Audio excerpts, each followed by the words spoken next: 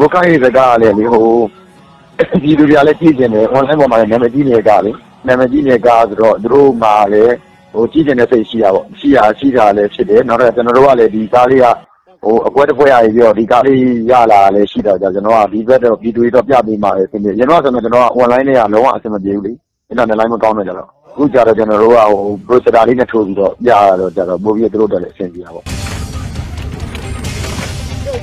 ရှင်းပြောရင်ဒီဘက်ပြည်သူတွေမှာကအပျော်ငတ်နေတာပေါ့နော်နောက်တစ်ခုက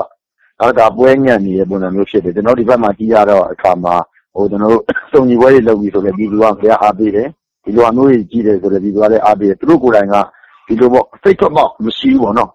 ဟုတ်လားဒီခံစားချက်တွေဒီຢာတွေဆိုတာလဲဟိုသူတို့ကိုယ်တိုင်လက်တွေ့ခံစားနေရတဲ့ဟိုရှင်းရှင်းပြောရင်ကျွန်တော်သူတို့ကိုယ်တိုင်ကပတင်နေတယ်လေ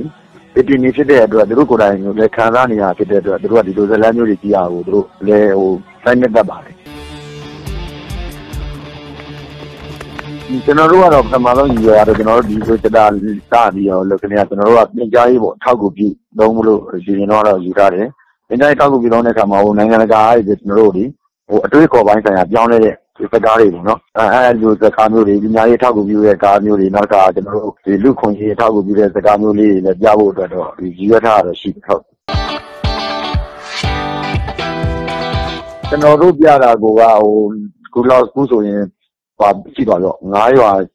ရှိသွားပြီနောက်တစ်ခါအဖွဲတစ်ဖွဲပေါ့နော် MD fit ကိုပေးပြီးကျွန်တော်ပြတာ